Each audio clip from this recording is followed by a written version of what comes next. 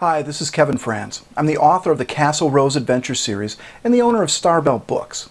As you can probably guess, books and reading have had a huge impact on my life, but let me share a statistic that's going to astound you.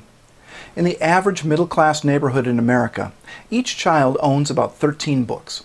Some maybe a few more, some maybe a few less, but on average, it's about a 13 to 1 ratio. But what about a low-income neighborhood? How many books does the average child in a low-income neighborhood own? Well, I'll tell you, it's not 13.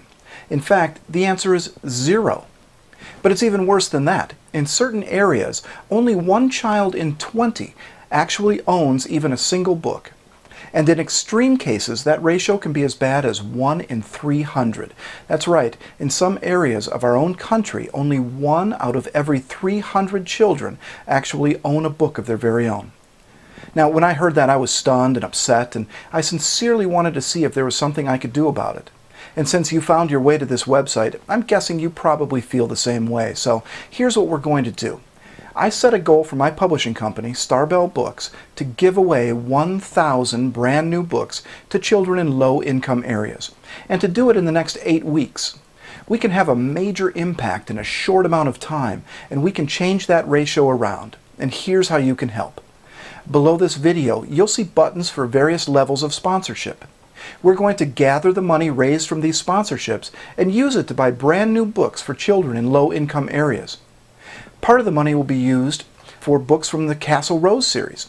Since I own the publishing company, I know exactly how much it costs to physically print and bind the books, and that's exactly the number that we'll use, not a penny more.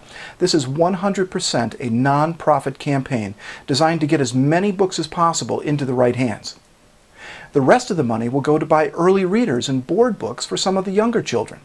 I've hooked up with a store called Half Price Books, and they not only have new books at great prices, but I've negotiated additional discounts on top of that.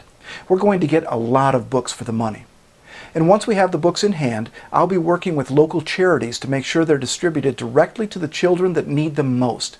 We've targeted the Walter and Connie Payton Foundation as our first choice.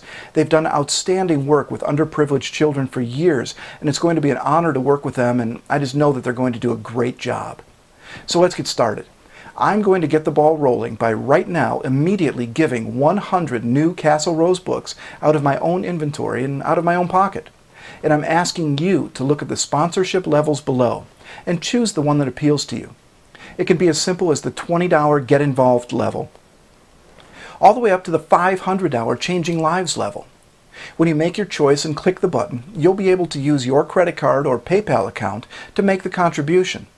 Or if you prefer not to use electronic payment, there's also a form that you can print out and send your contribution directly through the mail.